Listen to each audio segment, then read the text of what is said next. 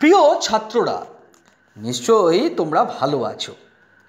আজকে আমরা কবি জীবনানন্দ দাশের আকাশে সাতটি তারা কবিতাটি নিয়ে আলোচনা করব। আকাশে সাতটি তারা কবিতাটি কবি জীবনানন্দ দাশের রূপসী বাংলা কাব্যগ্রন্থের অন্তর্গত। রূপসী বাংলা কাব্যটি প্রকাশিত হয় কবির মৃত্যুর তিন বছর পরে। রূপসী বাংলা সমগ্র কাব্যটিতে কবির প্রকৃতি চেতনার পরিচয় পাওয়া যায়। বাংলাদেশের যে নিজস্ব সংস্কৃতি, তার প্রতি কবি জীবনানন্দের গভীর মমত্ব ও শ্রদ্ধা প্রকাশিত হয়েছে। বাংলাদেশের রূপেই জীবনানন্দ দাশ মুগ্ধ ছিলেন। এই কারণে তিনি আর পৃথিবীর সৌন্দর্য খোঁজার প্রয়োজন মনে করেননি। কবি বাংলাদেশের সন্ধ্যাকালীন সৌন্দর্যের অপরূপ বর্ণনা করেছেন আকাশের সাতটি তারা কবিতায়। এবার আমরা কবিতাটির কয়েকটি লাইন নিয়ে আলোচনা করব। আকাশে সাতটি তারা যখন উঠেছে ফুটে, আমি এই ঘাসে বসে থাকি।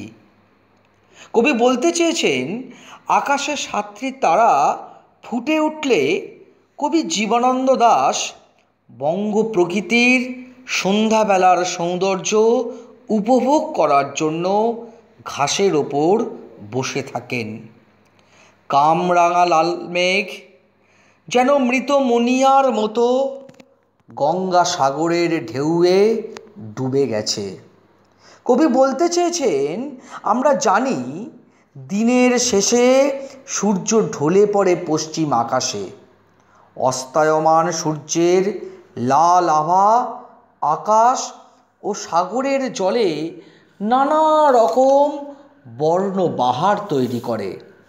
কামরাঙা ফল পেকে গেলে তার বর্ণ যেমন লালচে হয়ে যায়, তেমনি সন্ধ্যার সূচনায় গঙ্গাসাগরের ঢেউয়ে অস্তমিত সূর্যের আলোয় ভাসমান মেঘের রঙকে কবির মনে হয় পাকা কামরাঙা লাল রঙের মতো। গ্রাম বাংলার মুনিয়া পাখি হল প্রাণচঞ্চল একটি পাখি।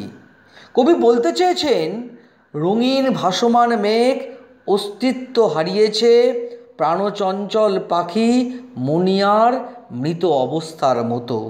অর্থাৎ কবি সন্ধ্যার আসন্ন অন্ধকারে ডুবে যাওয়া প্রাণের অস্তিত্বহীন মেঘকে তুলনা করেছেন প্রাণচঞ্চল পাখি মনিয়ার মৃত অবস্থার সঙ্গে।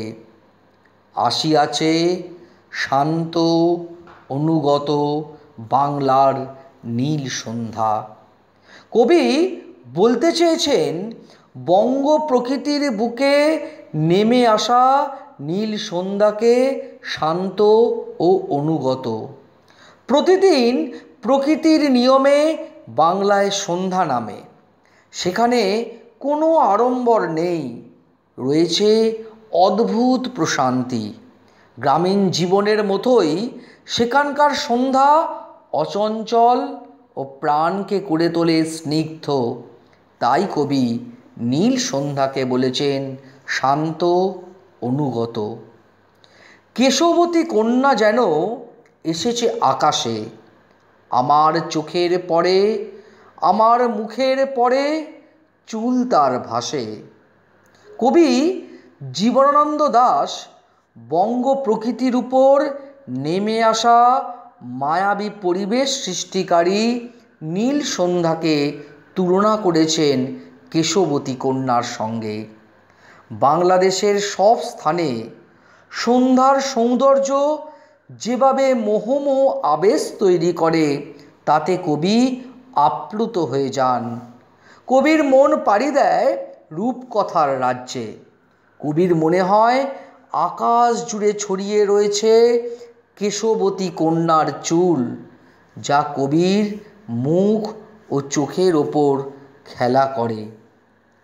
পৃথিবীর কোন পথ এ কন্যারে দেখি নিকো দেখি নাই অত অজস্র চুলের চুমা, হিজলে কাঁঠালে জামে ঝড়ে অবিরত।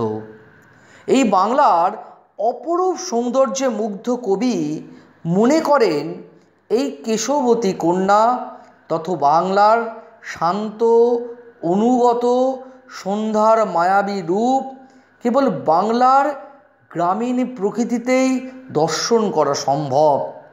পৃথিবীর অন্য কোথাও সন্ধ্যা এমন রূপ, রস, গন্ধ, সৌরভ নিয়ে উপস্থিত হয় না। পৃথিবীর আর কোথাও কবি দেখেননি কেশবতী কন্যার কেশদাম অবিরত চুম্বন করে চলেছে হিজল, কাঁঠাল, জাম গাছকে।